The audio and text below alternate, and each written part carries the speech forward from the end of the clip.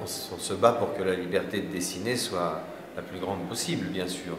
Euh, ce procès concerne pas seulement les dessinateurs, il concerne toute forme de créateurs et, euh, et, les journalistes en général. À Charlie Hebdo, les dessinateurs, d'ailleurs, sont des journalistes à part entière. Le dessin de presse, à mon sens, doit, avoir valeur soit de reportage, soit d'éditorial. Il n'est pas forcément, de commentaire, mais il n'est pas forcément illustratif. Je pense qu'il faut encourager euh, les, euh, les, patrons de journaux à utiliser le dessin comme une langue à part entière.